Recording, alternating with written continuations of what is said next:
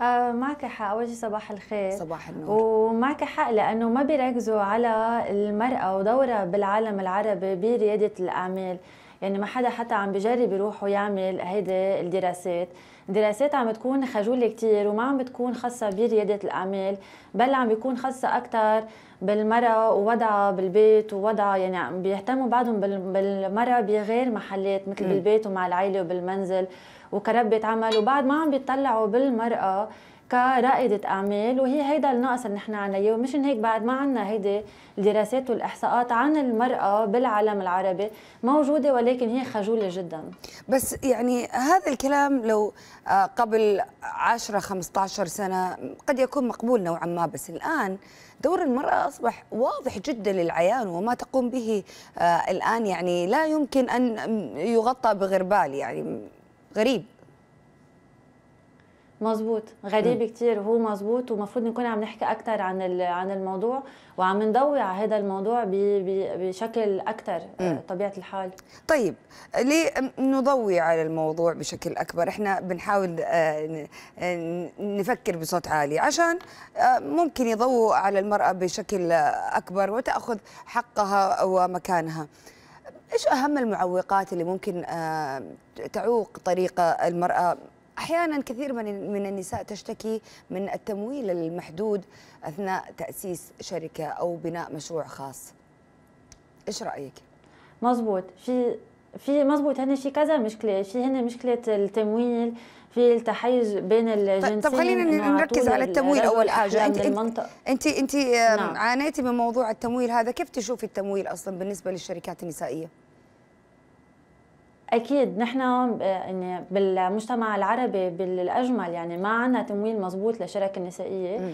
وأنا شخصيا بلبنان كمان ما عندنا تمويل للشركة تبعنا ولا أي مساعدة من الحكومة خصوصا بعد كل الوضع الاقتصادي اللي عم نقطع فيه أو هي أزمة الصحيه الكورونا فما شفنا ولا أي دعم حكومي ولا تمويل حكومة آه، عم يجي التمويل إذا بده يجي للمرأة عم بيكون تمكين وتمويل المرأة من عبر آه، جهات مانحه ولكن مش من عبر الحكومة. طيب بيرنا تحسي إنه آه، أثناء التمويل يعني عندما يقدم طلب مشروع أو تمويل شركة ما هل النظر لكون صاحب المشروع أو الفكرة هذه رجل أو مرأة قد يفرق. يعني إذا كان رجل آه والله ممكن نموله لكن إذا في آه إذا كانت امرأة آه موضع شك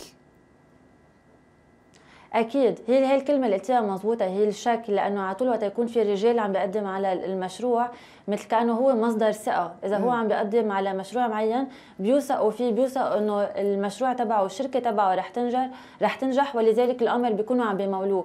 ولكن وقت يكون في امرأة عم بتقدم على هذا التمويل بيكون في كثير عوائق وبيكون في كثير أسئلة وبيكون في كثير شكوك إنه كيف هيدي المرأة بدها تعمل هيدي الشركة وبركي ما زبطت.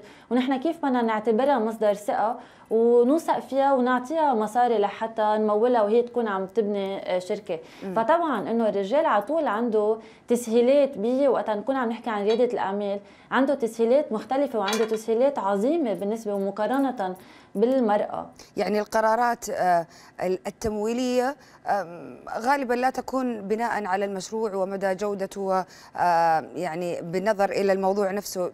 ينظر أكثر إلى آه، جنس مقدم المشروع رجل أو أو مرأة. حتى في الدعم الحكومي يعني الدعم الحكومي ضعيف كثير نوعا ما صح؟ مزبوط هو ضعيف كثير نوعا ما بركي بالدول العربية وأنا عندي بلبنان هو معدوم مش بس مش بس خفيف يعني.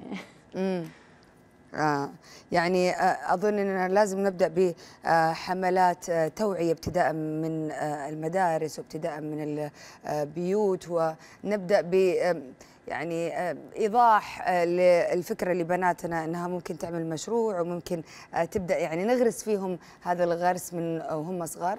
يعني هكذا تتغير المجتمعات. شكرا جزيلا لك من بيروت صح صح. سيدة الأعمال ومؤسسة شركة Little Piece of Cairo شكرا. برناطو يعطيك ألف عافية بيرنا وبالتوفيق لك شكرا شكرا